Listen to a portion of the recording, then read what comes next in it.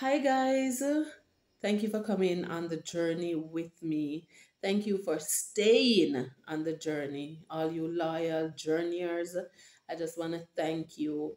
Wherever you are watching from, not sure, not sure if all my um, journeyers are from Jamaica. I am from Jamaica. Um, if you want to know more about where uh where this journey begins, go back to previous videos and you can know. All right, so I want to jump into it. Try not to, guys, try not to make the video so long. All right, do apologize. Um, but uh, when things we talk about, it have to talk about. All right, so come on, let us go. All right, so there was something, and and that's all Guys, listen, I, I tell you that I don't want to come on here because I can. There is so much things to talk about, so much. You know, um, it's Sunday. It's Sunday, and uh, um, just I, I can't say okay i'm gonna make a video on on saturday or whatever so it's sunday it's october 6th and it's 2024 all right and um I was gonna come on because in my mind I was saying, okay, I really want to talk about this, and so, but then, then something just shift. I mean, there is like a shifting within me, and I feel like I'm supposed to talk about this that I'm going to talk about tonight. So, the if you're not living under a rock, and guys, I can say so much about um, all of this. I do not want to dwell on the event or talk much about the video, but there there was a video. I did not see the video of the actual event but I have seen videos of uh, um, the the story. I've seen video of the story. So if you're in Jamaica and you don't live under a rock, you will hear about the preacher that was preaching on the bus and uh, some because I saw a video. I saw a video of him preaching on the bus and somebody they tell him to shut up. Somebody else was saying preach the word and all of that. Anyway, he was put off the bus in a particular area and I don't remember exactly where. Um, and then pounced upon some people who decide to do jungle justice for whatever reason. I heard that uh, they were saying that there was a 15 year old that uh, they found um, in a what you call it, well or somewhere there. So go on YouTube, it is there. But my thing is what I want to bring out is there was a gentleman who um, was saying, I think he was the one, he said that he had got into a lot of arguments with this preacher, you know, like he admitted that he, you know, he give him hard time and all of that. And so he said something that really um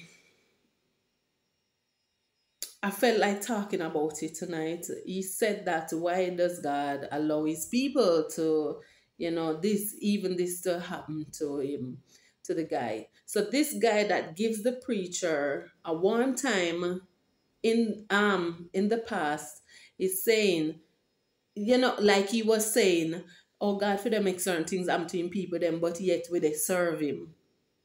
That's the kind of impression that I am getting from him. Because it's not like he was on the preacher's side. Because he must say demon rise up in him and whatever, whatever. So I am not gonna touch all of that. And just uh, it, it was really horrific what they did to the man and and so it goes back to because even today at church we talk about as as of in the days of Noah, so shall it be in the day of the coming of the Son of God. And the thing is, guys, Mighty God. When that, the thing that they did to this man, me can't believe that Jamaica reached to that level. And we need to look out. You see much warning we get? It was emphasized today that Noah warned the people for almost a hundred years. And we can say from with the there we need, with granny, granny, granny, the idea need, with the hear about the coming of Jesus and all of that. Hundred years you have been warned. And nobody now turn from them wicked ways and all of that. Also, um, I was listening to a preacher who spoke about, yeah, I think he was giving out a warning. He got a dream and was giving out a warning. And he was saying that Port Royal was destroyed and Port Royal was one of the wickedest place in the world. I can't believe Jamaica have a wicked place. Wicked and and this is what it was in Genesis 6 when God looked upon the land. Guys, I talk about this in a in a video already. When God looked upon the land, him sorry he make mankind because of how wicked people were. That's not what I came on about. I just want to um speak on what the gentleman said I do not have the answer for everything. We live in a fallen world. This is a sinful world. And so I am speaking and the little that I know where Christians are concerned. So if you are a believer, then you understand. You understand the journey. Because the thing is, Jesus never sugarcoats anything. He said that if you want to follow him, you have to take up the cross. And I'm imagining the cross. If you look, because in my mind I'm thinking of if you live at Jamaica, you know the JPS light pole them. And now they're changing over the wood to the concrete one. Can you carry one of those? I'm imagining that, uh, you know, maybe heavier or whatever. But me just uh, imagine one of them there um, and then the thing is, um, that's just one pole. What about uh, the the T part of it? So can you carry that like literally, and different from a literal carrying the cross? Other things going on, but. Uh, let's not jump ahead of ourselves. So I want to go through some scriptures. So for you that you're not a believer, you're not a Christian, you will not understand why uh, some things are allowed for us. You will not understand. And you will not understand that it is um this we suffer is uh, not forever. There is a greater joy that comes. So my first scripture is Matthew 5, 10 to 12.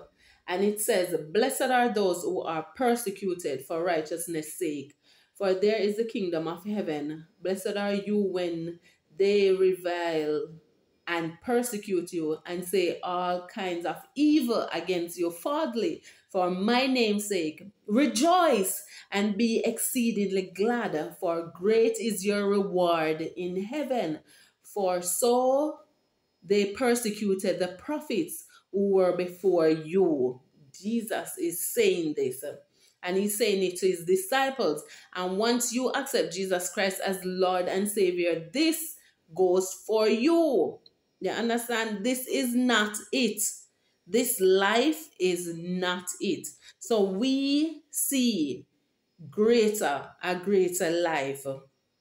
In Second Timothy 3 verse 12 it says indeed all who desire to live a godly life in christ jesus will be persecuted so it's not like we we we it, we are not uh, um it it's hidden from us. It's not like we go into this blindfolded. And the thing about it is you have a choice. It's not like him force you to follow him. We have a choice. And so we choose to follow Jesus. In John 15, verse 20, he said, Remember the word that I said to you a servant is not greater than his master. If they persecute me, they will also persecute you. If they kept my word, they will also keep yours. Romans 8, verse 35 Who shall separate us from the love of Christ? Shall trouble, or hardship, or persecution, or famine, or nakedness, or danger, or sword? Nothing can separate us from the love of God. God don't love we any less when we are walking through stuff. I read Isaiah 43 the other day, and it says that when we go through deep waters, our flood, our fire, we are not alone. Psalm 23 said, Yea, though we walk through the valley of the shadow of death, we will fear no evil because what he is with us. So it's not like say are we alone in a this. You understand? And the thing is, I'm not, it, we are not justifying evil and said, um, but he said that we will be persecuted. This man was preaching the word of God on the bus, right?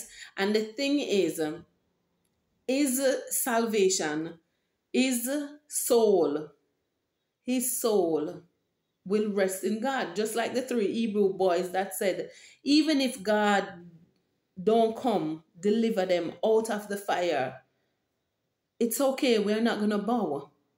And, you know, there are so many other scriptures. You can just go search for them that tells you. So it's not like we are in the dark about being persecuted. And persecution can be in many ways. Some people right now in this day and age 2024 are being persecuted in other countries and sometimes i believe that we that are free to worship and speak about jesus we take it for granted we do not appreciate it and all of that and when you reach to a level that somebody is speaking the word on the bus i mean and and then it end up being violent it, it really gone to another level in Jamaica. It really gone to another level in Jamaica. And Jamaica, be careful. Be careful. Be careful. It's not like say Christianity is not a part of our culture. It is a part of our culture. If we want to put it there so. We, we Jamaica is built on Christianity. If you check it right now, you probably have more Christian in Jamaica more than other religions. So, for somebody in Jamaica to be persecuted, which uh, um, it, it's kind of a uh, let me what should I say? Because they did not hurt him. I can't even talk about what they did to the man on this. But they did not hurt him because he was preaching the gospel. I believe they mistaken. I really don't know the story, and this is why I don't want to speak much on it. But he was thrown off the bus, they say, allegedly, that because he was preaching so because he was preaching, he was taken off the bus, and so whatever happened to him happened to him. And I just want to encourage us as Christians that uh, there's nowhere in the word that that that tell us that um it's gonna be a bed of rose. It's not. There's nowhere everywhere old testament new testament they had they went through stuff the israelites went through stuff and they would be like our ancestors and today we are going through stuff some of us are being persecuted um, by you know people talking against christians and some people are actually being persecuted. You can't say Jesus in public. I have on this shirt, um, rooted in Christ. I probably can't wear it in some countries. We can't, in some countries, you can't, there's no devotion. And I'm talking about this day and age because I had some um, friends that came on mission and it was it was like heaven when we go into the school to do devotions because they do not get this at home. And so, Jamaica, do not take these things for granted. Do not take these things for granted. I want to encourage us that the path that we are going down, it's not a good look. There's so many warnings, so many warnings. And the word of God said, as of in the day of Noah, so shall it be when Jesus is coming back. And so nobody not take heed. Just like in the day of Noah, people were not taking heed. People cuss out Noah or in the bill ark and rain. And in this day and age, people are saying that uh, from when me years of Jesus to come and all these things. You know, let me just wrap up with this.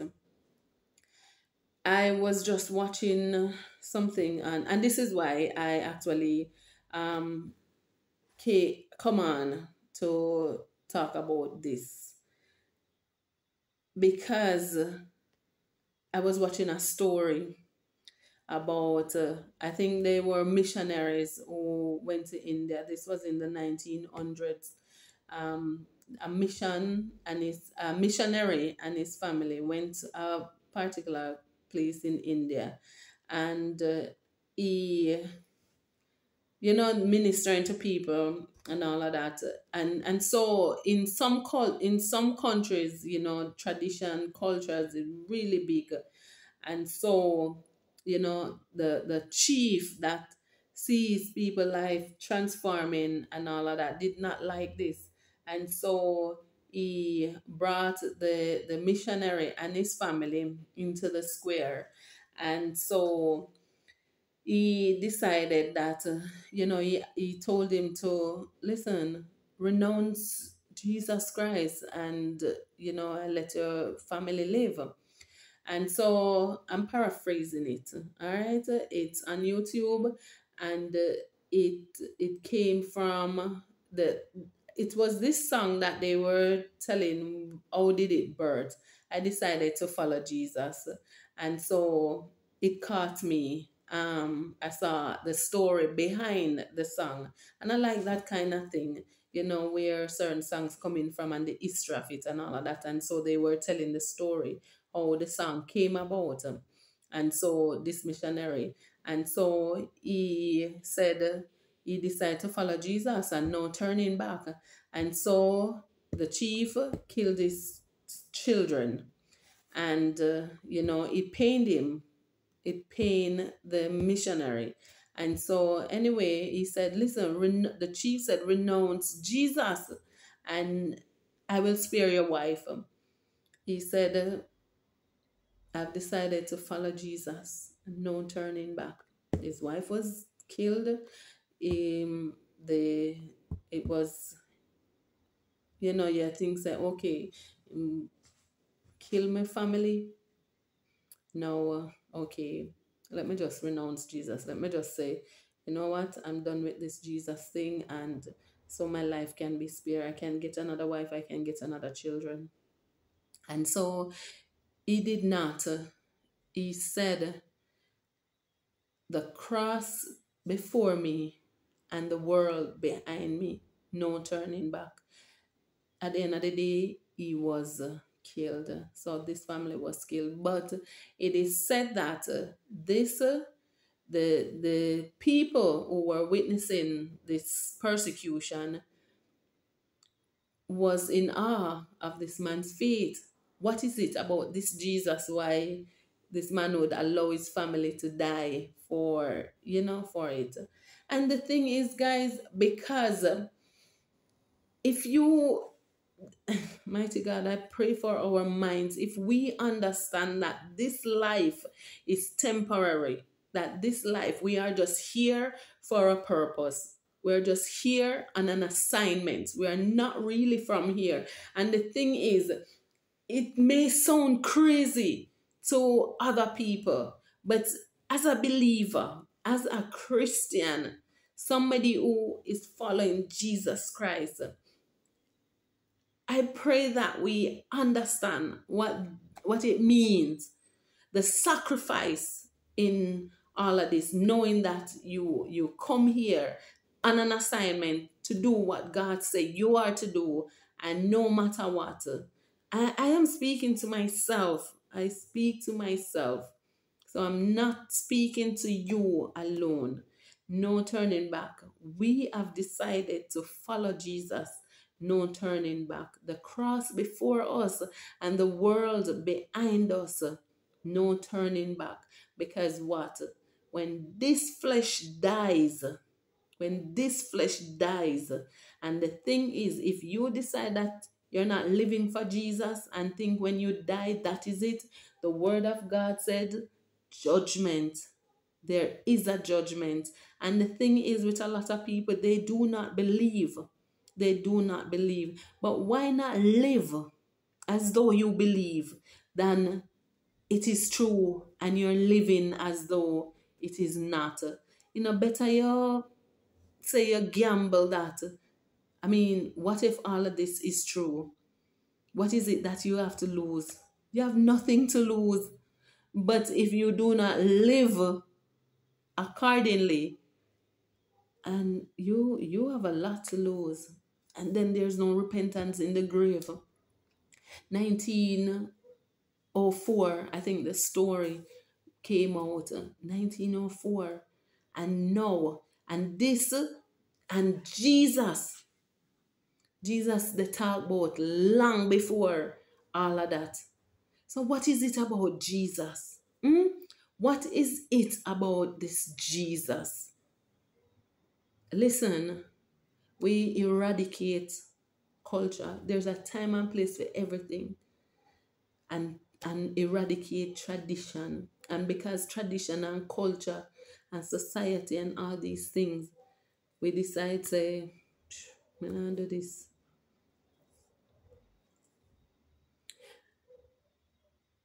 it has come to the end of this journey. I want you to think about do your own research.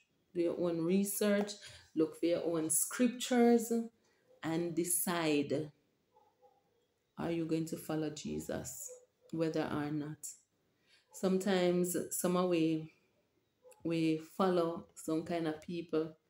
I have seen an election the other day, an election the other day, and I believe there were was there an accident? I'm not speak that over them, but uh, in the motorcade, yes, uh, somebody this lady was hanging off.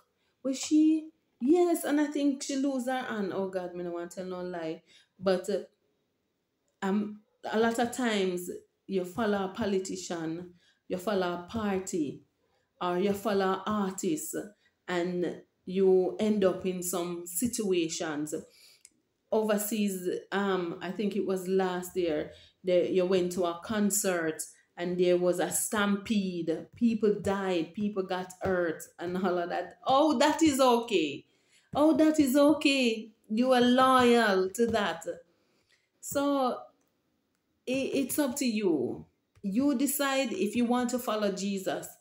But if people decide that they want to follow Jesus and go through all what they want to go through, leave them alone. Let them be. Let them be. This is our faith. This is our faith.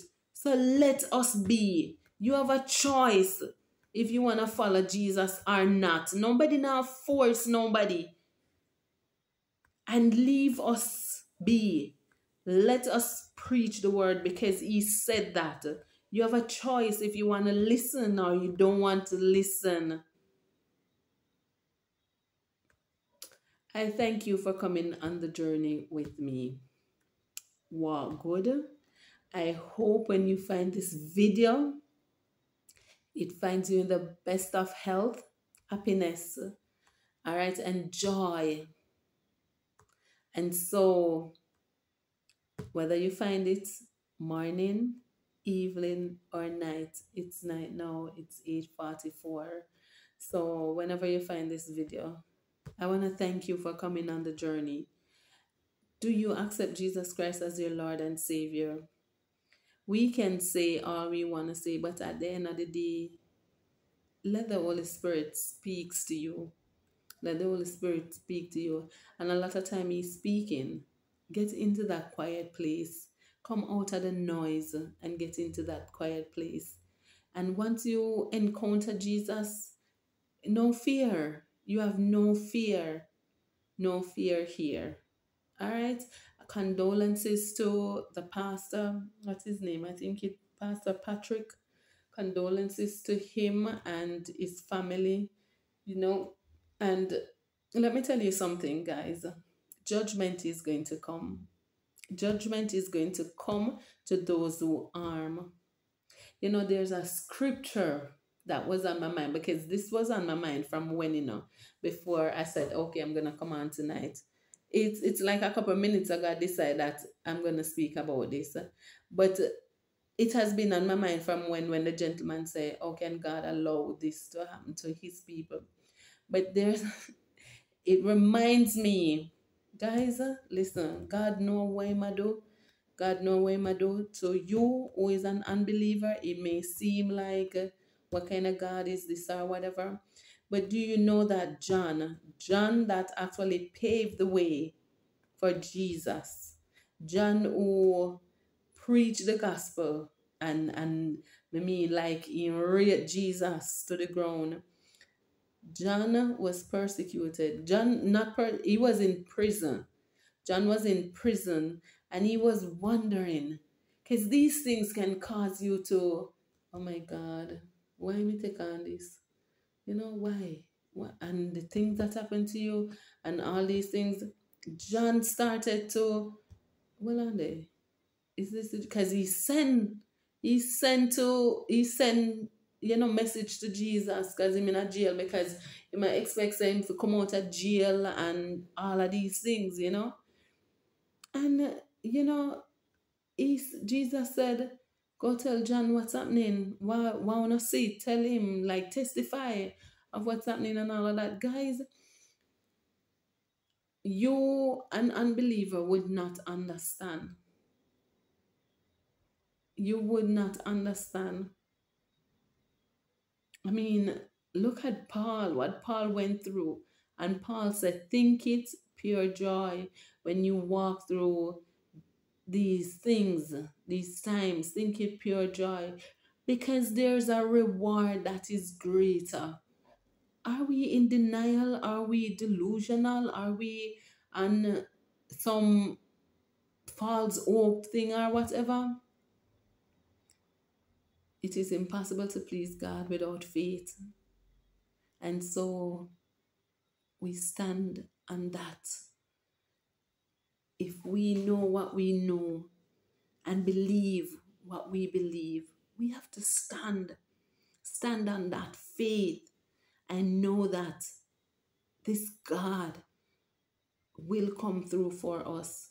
And judgment is going to come to every single individual that lay a hand on God's people. In his word, he's, he, he, he speak a lot of time, especially um in the Old Testament, where he say an enemy of Israel is my enemy. There is so much, there is so much, there is hope. There is hope. There is hope. And when Jamaicans do certain things, I'm from Jamaica. I live in Jamaica. I live in Jamaica. And uh, can I can I tell you something? Can I be honest with you? A lot of times, um, I see these people come out and you know sending warnings, and some of them don't live at Jamaica. Some of them don't live at Jamaica. I'm not bash nobody because uh, you know God can send out warning. But I'm thinking, Jamaica, Jamaica, Jamaica, Jamaica. Wake up, wake up, wake up, wake up. Sometimes, honestly, in spite of I have my children that are not saved, in spite of my family members are not saved, sometimes I feel like Jonah. Sometimes I feel like Jonah. Sometimes I feel like God, listen, allow something to happen to wake up these people. But in like Jonah um go on Nineveh and all of that. And I believe that God loved Jamaica so much that God is sending people from elsewhere, people from Jamaica, people who are not from Jamaica. It, you know, if we tell we say, listen, shake up, break up your folly grounds. Didn't I say I was gonna done? Anyway, um, just wanna thank you uh, I'm to leave you with Revelations 2, verse 10. It said, Do not be afraid of what you are about to suffer. I tell you, the devil will put some of you in prison to test you, and you will suffer persecution for 10 days. Be faithful even to the point of death, and I will give you life as your victor's crown. Father God, I just want to thank you for your word that prepares us. But Lord, the word is one thing, our mind is another, our faith is another, our hope, trust, mighty God. You said we should not fear because you are with us. So, Lord God, give us the grace to walk through whatever it is, whatever persecution that may come everything is for a purpose and sometimes we do not understand the purpose and so we get antsy we get fidgety we get afraid sometimes we even speak negatively and so lord i declare that those on this platform my journeyers that you have sent to journey with us, Lord God. Open their hearts, open their eyes. Lord God, you said you do not wish for anyone to be lost. And so we declare that even one person will accept you as Jesus Christ, accept you as Lord and Savior. Bless them, Father God. Open their hearts, Father, to run after you and for us as believers, God, I declare that we are strengthened. And oh, it's not just lip service to say, I have decided to follow you. No turning back. Uh, mighty God, no turning back. The world behind us uh, and the cross in front us. And so, Lord, we keep our eyes on you, the prize, the prize Help us, Lord, as we go through for the countries that are preparing for the storm. Um, I don't remember if it's Kirk or when a storm supposed to, I don't know if it's Florida or Miami, somewhere there. We want to pray for them, Lord. We want to pray your peace. We want to declare that, uh, you know, they, everybody is covered in the mighty name of Jesus. Lord, even in the in the midst of the storm let people realize mighty god let people realize that your coming is near your coming is near even us as church people let us realize let us understand and not there get comfortable be at a place in our comfort zone because we probably fear persecution.